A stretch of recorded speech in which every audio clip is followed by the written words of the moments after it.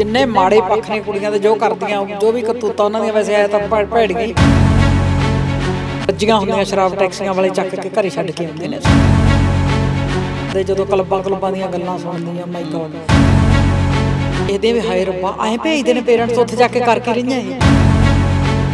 ਸ਼ਰਾਬ ਪੀਤੀ ਸੀ ਤੇ ਟੈਕਸੀ ਵਾਲਾ ਛੱਡ ਕੇ ਸੱਚੀ ਸ਼ਰਮ ਨਾਲ ਨਾ ਸਿਰ ਝੁਕਦਾ। ਕਿ ਸੋਸ਼ਲ ਮੀਡੀਆ ਨੇ ਇੰਨਾ ਗੰਦ ਪਤਾ, ਉਹ ਘਰ ਵਾਲੀ ਨੂੰ ਗਾਲਾਂ ਕੱਢ ਰਹੀ ਹੈ। ਉਹ ਉਹਦੀ ਗਾਂ, ਉਹਦੀ ਸਹੇਲੀ ਬਣ ਗਈ ਗਾਂ ਉਹਨੂੰ ਗਾਲਾਂ ਕੱਢ ਰਹੀ ਹੈ। ਔਰਤਾਂ ਦੇ ਵਿੱਚ ਔਰਤਪਣ ਹੋਣਾ ਬਹੁਤ ਜ਼ਰੂਰੀ ਹੈ।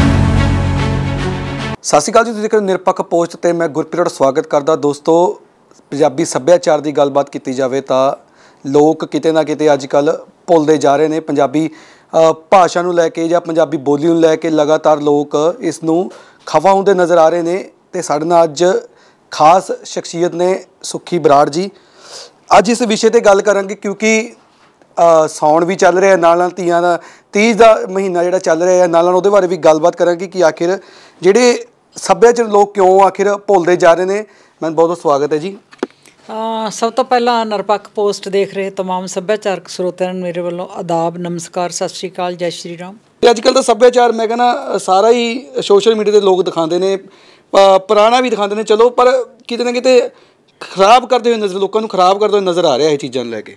ਤੁਸੀਂ ਦੇਖੋ ਪੰਜਾਬੀ ਫਿਲਮਾਂ ਆਪਾਂ ਸਾਰੇ ਵੇਖਦੇ ਤੁਸੀਂ ਵੀ ਜਾਣਦੇ ਹੋ। ਉਹਦੇ 'ਚ ਪੁਰਾਣਾ ਸੱਭਿਆਚਾਰ ਦਿਖਾਇਆ ਜਾਂਦਾ ਪਿੰਡਾਂ 'ਚ ਸੱਥਾਂ ਕਿਵੇਂ ਲ ਉੱਥੇ ਤਾਂ ਦੇਖ ਆਉਂਦੇ ਨੇ ਉਹ 4 ਘੰਟੇ ਫਿਲਮ ਜਾ ਕੇ ਤੈਨੂੰ ਉੱਥੇ ਉਹ ਤਾੜੀਆਂ ਮਾਰਦੇ ਨੇ। ਪਰ ਆਪਦੇ ਪਿੰਡਾਂ 'ਚ ਪਿੰਡਾਂ 'ਚ ਪਿੰਡ ਹੀ ਹੈ ਨਹੀਂ ਅੱਜ ਕੱਲ ਪਿੰਡਾਂ 'ਚ ਪਿੰਡੂਪਣਾ ਨਿਕਲ ਚੁੱਕਿਆ ਅੱਜ ਕੱਲ ਮੈਂ ਇਸ ਪਿੱਛੇ ਜੇ ਇੱਕ ਪਿੰਡ 'ਚ ਸ਼ੂਟਿੰਗ ਸੀ ਲੱਸੀ ਹੈ ਨਹੀਂ ਸੀ ਸਾਰੇ ਪਿੰਡ 'ਚ ਕਿਸੇ ਦੇ ਘਰੇ ਦੁੱਧ ਹੀ ਹੈ ਨਹੀਂ ਕਿਸੇ ਦੇ ਘਰੇ। ਪਿੰਡਾਂ 'ਚ ਪਿੰਡੂਪਣ ਖਤਮ ਹੋ ਗਿਆ ਕਿਉਂਕਿ ਸੋਸ਼ਲ ਮੀਡੀਆ ਤੇ ਔਰਤਾਂ ਦੇਖਦੀਆਂ ਰਹਿੰਦੀਆਂ। ਹੁਣ ਆਹ ਚੀਜ਼ ਚੱਲ ਪਈ ਹੁਣ ਆਹ ਫੈਸ਼ਨ ਚੱਲ ਪਿਆ ਉਹ ਜਾਣੀ ਪਿੰਡਾਂ 'ਚ ਪਿੰਡ ਖਤਮ ਹੋ ਗਏ। ਸ਼ਹਿਰੀਕਰਨ ਬੇਹੱਦ ਜ਼ਿਆਦਾ ਹੋ ਗਿਆ। ਜਿਹੜੇ ਸ਼ਹਿਰ ਦੇ ਲੋਕ ਨੇ ਉਹਨਾਂ ਤੇ ਵੈਸਟਰਨ ਦਾ ਪ੍ਰਭਾਵ ਪੈ ਗਿਆ। ਸੋ ਜਿੱਥੋਂ ਤੱਕ ਸੱਭਿਆਚਾਰ ਦੀ ਗੱਲ ਹੌਲੀ ਹੌਲੀ ਹੌਲੀ ਹੌਲੀ ਖਤਮ ਹੁੰਦਾ ਜਾ ਰਿਹਾ ਪਰ ਐਡੀ ਵੀ ਨਹੀਂ ਗੱਲ। ਜਦੋਂ ਤੱਕ ਸਾਡੇ ਵਰਗੇ ਜਿਉਂਦੇ ਨੇ ਨਾ ਪੰਜਾਬੀ ਜਿਉਂਦੇ ਨੇ ਮੇਰੇ ਵਰਗੇ ਕਾਫੀ ਕਲਾਕਾਰ ਨੇ ਵਧੀਆ ਕੰਮ ਵੀ ਕਰ ਰਹੇ ਨੇ ਬੁੱਧੀਜੀਵੀ ਵਧੀਆ ਕਰ ਰਹੇ ਨੇ ਮੈਂ ਪ੍ਰੇਰ ਵੀ ਰਹੀ ਹਾਂ ਹੋਰਾਂ ਨੂੰ। ਪੰਜਾਬੀ ਮਾਂ ਬੋਲੀ ਨੂੰ ਖਤਰਾ ਵੀ ਨਹੀਂ ਹੈ ਇੰਨਾ ਪੰਜਾਬੀ ਸੱਭਿਆਚਾਰ ਨੂੰ ਵੀ ਨਹੀਂ ਖਤਰਾ। ਪਰ ਚਲੋ ਵਾਂਸੇ ਵਾਈਲ ਤਿਹਾਰ ਤਾਂ ਮਨਾਉਂਦੇ ਨੇ ਤੀਆਂ ਤਾਂ ਮਨਾਉਂਦੇ ਨੇ ਵਿਸਾਖੀ ਵੀ ਆਪਾਂ ਮਨਾਉਣੇ ਆ ਬਟ ਜਿਸ ਲੈਵਲ ਤੇ ਮਨਾਏ ਜਾਣੇ ਚਾਹੀਦੇ ਨੇ ਤਿਹਾਰ ਜਿਸ ਤਰ੍ਹਾਂ ਮੇਲੇ ਲੱਗਦੇ ਸੀ ਮੈਂ ਸਾਰੀਆਂ ਸਰਕਾਰਾਂ ਨੂੰ ਬੇਨਤੀਆਂ ਕੀਤੀਆਂ ਵੀ ਉਸੇ ਤਰ੍ਹਾਂ ਜ਼ਿਲ੍ਹਾ ਵਾਈਜ਼ ਮੇਲੇ ਲਾਉਣੇ ਸ਼ੁਰੂ ਕਰ ਦਿਓ ਜਿੱਥੇ ਲੋਕਾਂ ਦੀ ਆਪਸੀ ਸਾਂਝ ਬਰਕਰਾਰ ਹੋਵੇ। ਕਿਉਂਕਿ ਲੋਕ ਸਾਰਾ ਦਿਨ ਟੈਲੀਫੋਨ ਤਾਂ ਨਹੀਂ ਹਟਦੇ ਸਾਰਾ ਦਿਨ ਮੁੰਡੇ ਕੁੜੀਆਂ ਮੈਂ ਕਾਲਜਾਂ ਸਕੂਲਾਂ 'ਚ ਜਾਂਦੀ ਆ ਜਿੱਥੇ ਜਾਓਗੇ ਮੇਰੇ ਕੰਮ ਕਰਨ ਵਾਲੇ ਮੇਰੇ ਡਰਾਈਵਰ ਮੇਰੇ ਸਾਰੇ ਗਨਮੈਨ ਸਾਰੇ ਸਾਰੇ ਕਿਸ ਵੇਲੇ ਕਿਤੇ ਲੱਗੇ ਪਏ ਹੁੰਦੇ ਸੋਸ਼ਲ ਮੀਡੀਆ ਤੇ। ਲੋਕੀ ਕੰਮ ਕਰਨੋਂ ਹਟ ਕੇ ਕੰਮ ਹੀ ਇੱਕੋ ਰਹੇਗਾ ਸੋਸ਼ਲ ਮੀਡੀਆ ਆ ਰੀਲ ਕਿਹਦੀ ਹਿੱਟ ਹੋ ਗਈ? ਆ ਕੀ ਹੋ ਗਿਆ? ਜਦੋਂ ਵੀ ਜਿੱਥੇ ਜਾਓਗੇ ਆਈ ਹੁੰਦਾ ਫੰਕਸ਼ਨ ਦੇਖਦੇ ਹੋਵੋਗੇ ਐ ਐ ਹੀ ਕਰੀ ਜਾਂਦੇ ਆ ਸਾਰਾ। ਮਤਲਬ ਇਹ ਬਹੁਤ ਨੁਕਸਾਨਦਾਇਕ ਹੈ ਜਿਹੜਾ ਹੁਣ ਦਾ ਯੁੱਗ ਚੱਲ ਰਿਹਾ ਜਿਹੜਾ ਕੀ ਕਹਿੰਦੇ ਹੁੰਦੇ ਕਲ ਯੁੱਗ?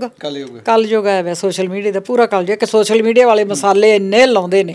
ਪਤਾ ਨਹੀਂ ਕਿਹਦੀ ਅੱਜ ਡੈਥ ਫਲਾਨਾ ਮਰ ਗਿਆ ਅੱਜ ਫਲਾਣੇ ਦੀਆਂ ਪੂਛਾਂ ਚਕਾਤੀਆਂ ਅੱਜ ਫਲਾਨਾ ਹੁਣੇ ਖਤਰਾ ਪਾਰਟੀ ਡਿੱਗਣ ਵਾਲੀ ਹੈ ਫਲਾਣੇ ਲੀਡਰ ਦੇ ਜਦੋਂ ਵਿੱਚੋਂ ਤੁਸੀਂ ਕਹੋ ਵਿੱਚੋਂ ਲੱਭੋਗੇ ਨਾ ਖਬਰ ਸੁਣੋਗੇ ਅਖੀਰ ਚ ਹੁੰਦਾ ਵੀ ਕਹਿੰਦੇ ਸਾਨੂੰ ਕਿਤੋਂ ਖਬਰ ਮਿਲੀ ਸੀ ਤੇ ਅਸੀਂ ਗਾਂ ਖਬਰ ਦੇਤੀ। ਮਤਲਬ ਸੌਰੀ ਟੂ ਸੇ ਤੁਹਾਨੂੰ ਵੀ ਕਹਿਣੀ ਆ। ਬਿਲਕੁਲ। ਸੋਸ਼ਲ ਮੀਡੀਆ ਹੈਡਿੰਗ ਸਹੀ ਲਾਇਆ ਕਰੋ ਭਾਈ ਜੋ ਬੰਦਾ ਕਹਿੰਦਾ ਉਹ ਲਾਇਆ ਕਰੋ। ਤੁਸੀਂ ਗੱਲ ਹੋਰ ਹੁੰਦੀ ਹੈ ਵਿੱਚੋਂ ਕੁਝ ਹੋਰ ਕੱਢ ਦਿੰਦੇ ਹੋ। ਤੁਸੀਂ ਤਾਂ ਨਿਰਪੱਖ ਹੈ ਨਾ। ਤੁਹਾਡੀ ਪੋਸਟ ਦਾ ਨਾਂ ਨਿਰਪੱਖ ਹੈ ਸੋ ਨਿਰਪੱਖ ਤੁਸੀਂ ਜ਼ਰੂਰ ਰਹੋ। ਕਿਉਂਕਿ ਇੱਕ ਕੁੜੀ ਖਾਲਸ ਨਿਊਜ਼ ਦਿੰਦੀ ਹੈ ਉਹਦੀਆਂ ਖਬਰਾਂ ਮੈਂ ਰੋਜ਼ ਸੁਣਦੀ ਹਾਂ। ਕਿਉਂਕਿ ਵਿਚਾਰੀ ਬਾਹਲਾ ਵਧਾ ਚੜਾ ਕੇ ਨਹੀਂ ਕਰਦੀ। ਤੇ ਸੋਸ਼ਲ ਮੀਡੀਆ ਦਾ ਵਿਊਜ਼ ਲੈਣ ਵਾਸਤੇ ਕਦੇ ਕਿਸੇ ਨੂੰ ਮਾਰ ਦਿੰਦੇ ਆ। ਫਿਰ ਕਹਿੰਦੇ ਨਹੀਂ ਸਾਨੂੰ ਉੜਦੀ ਉੜਦੀ ਖਬਰ ਮਿਲ ਗਈ ਮਰਿਆ ਨਹੀਂ ਅਜੇ ਜਿਉਂਦਾ। ਇਹੋ ਜਿਹੀਆਂ ਗੱਲਾਂ ਕਰਦੇ ਨੇ। ਮੈਂ ਗੱਲ ਕਰਾਂ ਹਨਾ। ਪੁਰਾਣੇ ਸਮੇਂ ਦੀ ਗੱਲ ਕਰਾਂ, ਤੁਸੀਂ ਫੋਨ ਦੀ ਗੱਲ ਕੀਤੀ, ਪਹਿਲਾਂ ਫੋਨ ਨਹੀਂ ਹੁੰਦਾ ਸੀਗਾ ਤੇ ਪਰਿਵਾਰ ਇਕਜੁੱਟ ਹੋ ਕੇ ਬੈਠਦਾ ਸੀਗਾ ਨਾ, ਜਦੋਂ ਵਿਹੜੇ ਦੇ ਵਿੱਚ ਬੈਠਦੇ ਸੀਗੇ ਤੇ ਉਹ ਸਮਾਂ ਮੈਂ ਕਹਿੰਦਾ ਹੁਣ ਤਾਂ ਦਿਖਣੋਂ ਹੀ ਬੰਦ ਹੋ ਗਿਆ, ਸਾਰੀ ਚੀਜ਼ਾਂ ਪਿੰਡਾਂ ਦੇ ਵਿੱਚ ਵੀ ਇਹ ਚੀਜ਼ਾਂ ਬੰਦ ਹੋ ਗਈਆਂ, ਕਿਉਂਕਿ ਮਾਹੌਲ ਬਹੁਤ ਚੇਂਜ ਹੋ ਗਿਆ, ਲੋਕ ਬਾਹਰ ਚਲੇ ਗਏ ਹਨਾ, ਇਹ ਚੀਜ਼ਾਂ ਬਹੁਤ ਚੇਂਜ ਹੁੰਦੀ ਜਾ ਰਹੀਆਂ ਨੇ। ਪਹਿਲਾਂ ਕਹਿੰਦੇ ਹੁੰਦੇ ਸੀ ਨਾ ਟੁੱਟ ਪੈਣੇ ਲਾਗੇ ਨਾਲ ਕੇ ਖੂਹਾਂ ਤੇ ਮਿਲਣ ਰਹਿ ਗਏ ਜਨਾਨੀਆਂ ਖੂਹਾਂ ਤੇ ਪਾਣੀ ਭਰਦੀਆਂ ਸੀ ਇਕੱਠੀਆਂ ਹੁੰਦੀਆਂ ਸੀ ਟੈਲੀਫੋਨ ਹੁੰਦੇ ਨਹੀਂ ਸੀ ਪਿੰਡਾਂ 'ਚ ਤੀਆਂ ਲੱਗਣੀਆਂ ਵੈਸੇ ਵਿਆਹਾਂ ਤੇ ਇਕੱਠ ਹੋਣਾ ਇਕੱਠੇ ਬੈਠਣਾ ਟੱਬਰਾਂ ਦੇ ਟੱਬਰ ਇਕੱਠੇ ਸੀ ਤੇ ਹੁਣ ਤਲਾਕ ਕਿਉਂ ਵੱਧ ਗਏ? ਤੁਸੀਂ ਦੇਖਦੇ ਨਹੀਂ ਰੋਜ਼ ਦੇ ਤਲਾਕ ਕਿੰਨੇ ਹੁੰਦੇ? ਰੋਜ਼ ਵੀ ਆ ਕੁੜੀ ਨੇ ਕਿਉਂਕਿ ਸੋਸ਼ਲ ਮੀਡੀਆ ਨੇ ਇੰਨਾ ਗੰਦ ਪਤਾ ਉਹ ਘਰ ਵਾਲੀ ਨੂੰ ਗਾਲਾਂ ਕੱਢ ਰਹੀ ਹੈ। ਉਹ ਉਹਦੀ ਗਾਂ ਉਹਦੀ ਸਹੇਲੀ ਬਣ ਗਈ ਗਾਂ ਉਹਨੂੰ ਗਾਲਾਂ ਕੱਢ ਰਹੀ ਹੈ। ਗਾਂ ਫਿਰ ਉਹਦਾ ਜਵਾਬ ਆ ਰਿਹਾ ਗਾਲਾਂ ਦਾ ਗਾਲਾਂ ਤੋਂ ਗਾਲਾਂ ਤੋਂ ਜਵਾਬ। ਮੀਡੀਆ ਹਾਂ ਸੋਸ਼ਲ ਮੀਡੀਆ ਇੰਸਟਾਗ੍ਰam ਤੇ ਉਹਨੂੰ ਗਾਲਾਂ ਅੱਜ ਉਹਦੀਆਂ ਗਾਲਾਂ। ਫਿਰ ਤੀਜਾ ਕੋਈ ਐਵੇਂ ਪ੍ਰਧਾਨ ਬੜੇ ਬਣੇ ਬੈਠੇ ਕਈ ਐ ਨਹੀਂ ਹੋਣਾ ਚਾਹੀਦਾ ਐ ਹੋਣਾ ਚਾਹੀਦਾ। ਫਿਰ ਕੁੜੀਆਂ ਦੀਆਂ ਬਾਹਰ ਕੈਨੇਡਾ ਤੋਂ ਕੋਈ ਇਹੋ ਜਿਹੇ ਚੈਨਲ ਨੇ। ਸਾਡੀਆਂ ਧੀਆਂ ਭੈਣੇ ਉਹਨਾਂ ਦਾ ਜਿੰਨੇ ਮਾੜੇ ਪੱਖ ਨੇ ਕੁੜੀਆਂ ਦੇ ਜੋ ਕਰਦੀਆਂ ਜੋ ਵੀ ਕਰਤੂਤਾਂ ਉਹਨਾਂ ਦੀਆਂ ਵੈਸੇ ਆਇਆ ਤਾਂ ਭੈੜ ਗਈ ਉਹ ਵੀ ਫਿਰ ਚੈਨਲਾਂ ਤੇ ਨਸ਼ਰ ਕਰਦੇ ਨੇ ਉਹ। ਕਿਉਂਕਿ ਸੋਸ਼ਲ ਮੀਡੀਆ ਨੇ ਟੈਲੀਫੋਨ ਨੇ ਸਾਡਾ ਨੁਕਸਾਨ ਕੀਤਾ। ਅੱਗੇ ਕੁੜੀਆਂ ਕਦੇ ਡਿਵੋਰਸ ਦੇਖੇ ਸੀ ਹੁੰਦੇ? ਬਹੁਤ ਵੱਡੀ ਸ਼ਰਮ ਮਹਿਸੂਸ ਕਰਦੇ ਸੀ ਵੀ ਤਲਾਕ ਹੋ ਗਿਆ ਫਲਾਣੇ ਦੀ ਕੁੜੀ ਦਾ। ਤੇ ਹੁਣ ਤਾਂ ਕੁੜੀਆਂ ਸਹੁਰੇ ਘਰ ਜਾਂਦੀਆਂ ਦਸਾਂ ਦਿਨਾਂ ਪਿੱਛੇ ਮਾੜੇ ਜੇ ਮਾਂ ਨੂੰ ਫੋਨ ਕਰਦੀਆਂ। ਮੰਮੀ ਮੈਨੂੰ ਨਾ ਇੱਥੇ ਠੀਕ ਨਹੀਂ ਲੱਗਦਾ। ਮੇਰੀ ਸੱਸ ਐਂ ਕਰਦੇ ਉਹਦੇ ਚੁਕਾ ਦੇ ਛਾਲਾਂ ਤੂੰ ਆ ਜਾ ਪੈਕ ਕਰ ਬਿਸਤਰਾ ਬਦਲ ਕਿਉਂਕਿ ਫੋਨਾਂ ਦਾ ਜੱਬ ਹੈ ਇਹ ਸਾਰਾ। ਮਾੜੀ ਮੋਟੀ ਵੀ ਗੱਲ ਜਿਹੜੀ ਮਾੜੀ ਮੋਟੀ ਵੀ ਸਹੁਰੇ ਵੇਖੋ ਜੇ ਤੁਹਾਨੂੰ ਮਾਵਾਂ ਝਿੜਕਦੀਆਂ ਸੱਸਾਂ ਵੀ ਝਿੜਕ ਦੇਣਗੀਆਂ ਯਾਰ ਫਿਰ ਕੀ ਫਾਇਦਾ ਹੁੰਦਾ? ਅਗਲੇ ਦੇ ਘਰ ਮੁਤਾਬਕ ਤੁਹਾਨੂੰ ਐਡਜਸਟ ਕਰਨਾ ਪੈਣਾ। ਬਟ ਇਹਨੇ ਮੀਡੀਆ ਨੇ ਸਾਡਾ ਇੰਨਾ ਸੱਤਿਆਨਾਸ਼ ਕੀਤਾ ਸੋਸ਼ਲ ਮੀਡੀਆ ਨੇ ਟੈਲੀਫੋਨਾਂ ਨੇ ਜਾਣੀ ਸਾਡੇ ਸਮਾਜ ਦਾ ਬੇੜਾ ਹੀ ਗਰਕ ਕਰਤਾ ਇਹ ਚਾਹੀਦੇ ਆ। ਮੈਂ ਮੁੜ ਤੇ ਉੱਥੇ ਤੇ ਆ ਜਾਵਾਂ ਮਾਪਿਆਂ ਦੀ ਗੱਲ ਤੇ ਆ ਜਾਵਾਂ। ਮਾਪੇ ਤੁਸੀਂ ਦੇਖਿਆ ਹੋਊਗਾ ਇੰਸਟਾਗ੍ਰam ਤੁਸੀਂ ਚਲਾਉਂਦੇ ਹੋਵੋਗੇ ਨਾ। ਸੋਸ਼ਲ ਮੀਡੀਆ ਤੁਸੀਂ ਦੇਖ ਦੇਖੋਗੇ ਕਿ ਇੰਸਟਾਗ੍ਰam ਤੇ ਕਿਸ ਤਰ੍ਹਾਂ ਦੀ ਆਖਿਰ ਵੀਡੀਓਜ਼ ਆਉਂਦੀਆਂ ਨੇ ਅੱਜ ਕੱਲ ਸਿੱਧੇ ਤੌਰ ਤੇ ਮੈਂ ਕਹਿੰਦਾ ਅਸ਼ਲੀਲ ਸਿ- ਸਿੱਧਾ ਕਹਿ ਸਕਦੇ ਆਪਾਂ ਕਿ ਉਸ ਦੇ ਉੱਤੇ ਦਿਖਾਇਆ ਜਾਂਦਾ, ਮਾਪੇ ਕੀ ਗੱਲ ਨੂੰ ਰੋਕਦੇ ਨਹੀਂ ਇਹਨਾਂ ਨੂੰ?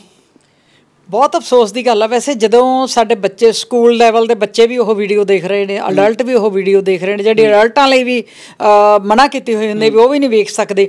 ਸੋ ਇਹਨਾਂ ਗੱਲਾਂ ਦਾ ਇੰਨਾ ਕੁ ਮਾੜਾ ਪ੍ਰਭਾਵ ਪੈ ਰਿਹਾ ਲੋਕੀ ਖੁਦਕੁਸ਼ੀਆਂ ਕਰ ਰਹੇ ਨੇ ਬੱਚੇ ਫਰਸਟ੍ਰੇਟ ਹੋ ਰਹੇ ਨੇ ਗੰਦੀਆਂ ਗੰਦੀਆਂ ਗੇਮਾਂ ਚੱਲੀਆਂ ਹੋਈਆਂ ਮੇਰੇ ਕੋਲ ਕਈ ਉੱਤੋਂ ਛਾਲਾਂ ਮਾਰ ਰਹੇ ਆ ਛੱਤ ਤੋਂ ਗੇਮ ਹਾਰ ਜਾਂਦੇ ਨੇ ਜੂਆ ਖੇਡ ਰਹੇ ਨੇ ਮਾੜੀਆਂ ਵੀਡੀਓਜ਼ ਵੈਸਟਰਨ ਕਲਚਰ 'ਚ ਭੇਜਦੇ ਜਾ ਰਹੇ ਨੇ। ਸੋ ਸੋਸ਼ਲ ਮੀਡੀਆ ਮੇਰੇ ਖਿਆਲ ਕਮ ਸੇ ਕਮ ਪੰਜਾਬ 'ਚ ਤਾਂ ਬੈਨ ਹੋਣਾ ਚਾਹੀਦੀਆਂ ਜਿਹੜੀਆਂ ਬਾਹਰੋਂ ਗੰਦੀਆਂ ਰੀਲਾਂ ਬਣ ਕੇ ਆਉਂਦੀਆਂ ਨੇ it should be banned in Punjab. ਜਿਵੇਂ ਜਿਵੇਂ ਟਿਕਟੌਕ ਹੋਇਆ ਸੀਗਾ ਬੈਨ ਟਿਕਟੌਕ ਹੋਇਆ ਤਾਂ ਮਨ ਮੇਰੇ ਖਿਆਲ ਇਹ ਵੀ ਬੈਨ ਹੋਣਾ ਚਾਹੀਦਾ ਵੀ ਸਾਡੇ ਪੰਜਾਬ ਐਂਡ ਸਰਕਾਰਾਂ ਨੂੰ ਵੀ ਜਿਵੇਂ ਐਸਟੀਐਫ ਨਹੀਂ ਬਣਾਉਂਦੇ ਇੱਕ ਸਪੈਸ਼ਲ ਟਾਸਕ ਫੋਰਸ ਬਣਾਉਣੀ ਚਾਹੀਦੀ ਹੈ ਜਿਹੜੀ ਸੱਭਿਆਚਾਰਕ ਕੰਮ ਕਰੇ।